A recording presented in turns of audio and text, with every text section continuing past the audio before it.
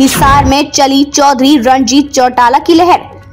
हरियाणा की hot seat Hisar पर जहाँ कुछ दिन पहले तक बीजेपी और कांग्रेस की कांटे की टक्कर नज़र आ रही थी, वहीं अब कांग्रेसियों की आपसी गुटबाजी और देश विरोधी सोच के कारण वो कांटा निकलता नज़र आ रहा है।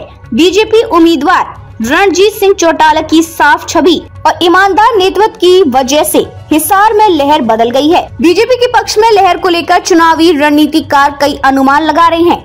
सांसद बनते ही मंत्री बनने के चांस। पूरे देश में चल रही नरेंद्र मोदी की तूफानी लहर को देखते हुए सभी को पता है, केंद्र में बीजेपी की सत्ता आनी है। इसी वजह से हिसार की जागरूक जनता को भी पता है कि अगर कांग्रेसी उम्मीदवार जीत भी गया तो क्या ही कर लेगा। वहीं अगर रणजीत चौटाला को जिता दिया गया तो उनका मोदी टीम में शामिल होना लगभग तय माना जा रहा है, जिसकी वजह से हिसार ही हरियाणा के लोगों को भी विकास की बड़ी उम्मीद है। साफ़ सुथरा इतिहास, एक बार फिर रणजीत से आस। रणजीत चौटाला के राजनीतिक अनुभव और ईमानदार छवि को देखते हुए भी हिसार की जनता उनको वोट करने का मन बना रही है।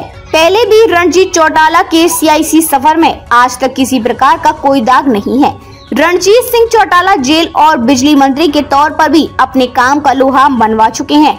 साथ ही चंडीगढ़ के साथ साथ प्रदेश के कई हिस्सों में जनता दरबार लगाकर भी लोगों की समस्या का समाधान करने के लिए जाने जाते हैं। वहीं विरोधी पार्टी के उम्मीदवार को जनता कई बार खरी खोटी सुना चुकी है जिसे तय है कि कांग्रेस के हाथ को हरियाणा का साथ नहीं मिलने वाला है।